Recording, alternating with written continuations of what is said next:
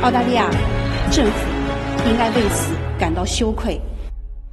他们以割喉如此凶残的手法，去残忍的杀害阿富汗的儿童，这是不是事实？澳大利亚的军人派到阿富汗去，是不是澳大利亚政府的行为？澳大利亚有军人犯下如此残暴的罪行，澳大利亚政府是不是应该 feel ashamed？是不是应该为他们的军人在阿富汗残杀无辜的平民 feel ashamed？阿富汗人民的命也是命。